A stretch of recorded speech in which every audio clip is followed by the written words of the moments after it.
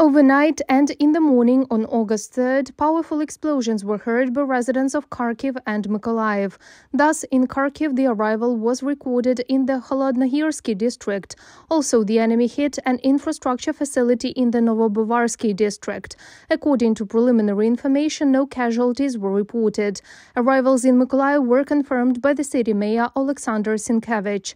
A fire broke out in one area of the city and a supermarket was destroyed in another. Rescuers are working at the site. In occupied Severodonetsk, emergency apartment buildings are falling down. The head of the Luhansk Regional Military Administration, Serhiy Haidai, reports that a house on Partizanska Street fell in the middle of the day. People were passing nearby. Whether anyone is inside the building is unknown.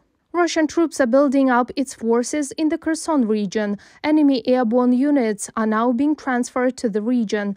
Due to the advance of the Ukrainian armed forces, Russia began to strengthen its defensive capabilities. In the context of the fact that our armed forces already have a certain advantage on the contact line and in destroying the enemy's rear supplies, the occupier still moves its forces and in particular paratrooper units.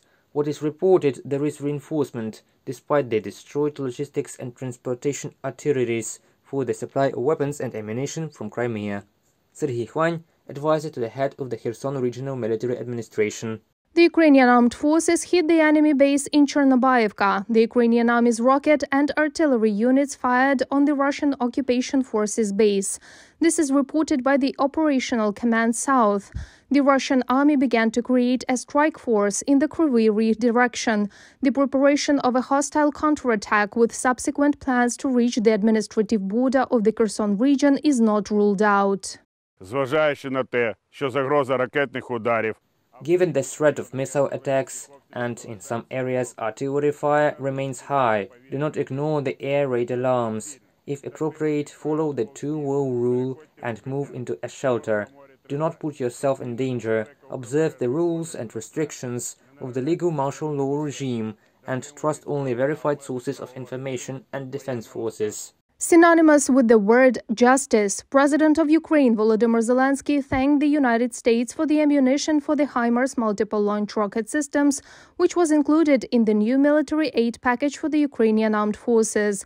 In his video message, he noted that every day diplomats and all other representatives of our state do their best and impossible to get for Ukraine the weapons that will eventually help to stop Russia.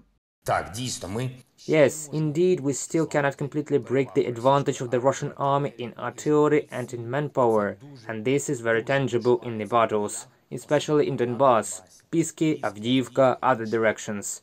It's just hell there. It can't even be described in words. 358 young Ukrainians became victims of Russia's full scale invasion of Ukraine. According to the Ministry of Internal Affairs, almost 700 children were wounded. At least 5,754 were illegally deported to Russia. Reported by Marina Stepanenko, Natalia Hayevska, UATV News.